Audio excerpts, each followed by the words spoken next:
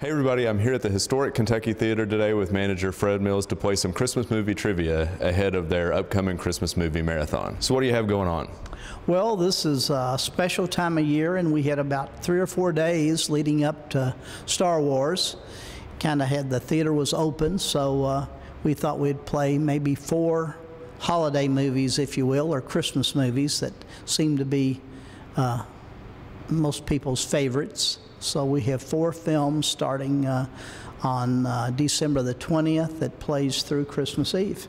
We have The Grinch uh, for kids. It's a PG. Uh, also, It's a Wonderful Life. Uh, White Christmas that uh, stars Kentucky's own Rosemary Clooney as well as Danny Kaye and Bing Crosby. National, National Lampoon's A Christmas Story from 1989. Now, how can folks get tickets and showtimes?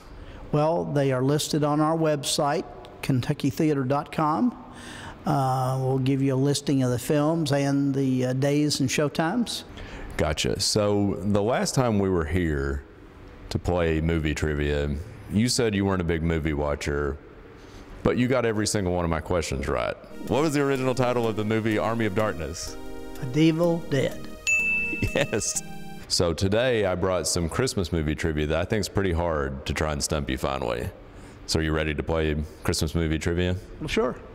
Can I get a minute on the clock, please? So in three, two, one, go. Jimmy Stewart was in another movie with basically the same name. Name that movie. Gosh, I think it's, it's a Wonderful World.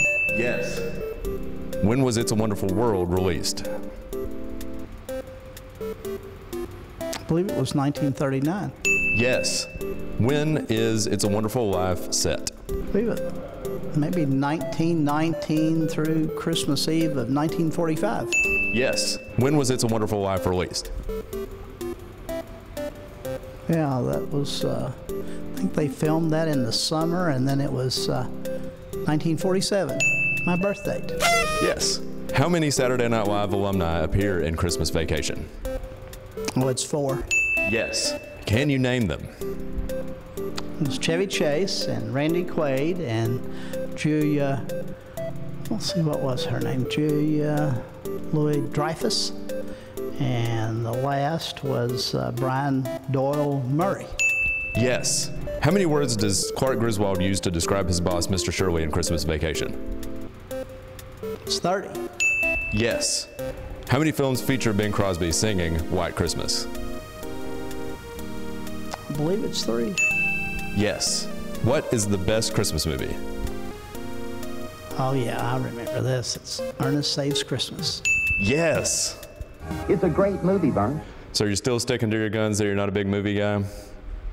I think so. Yeah.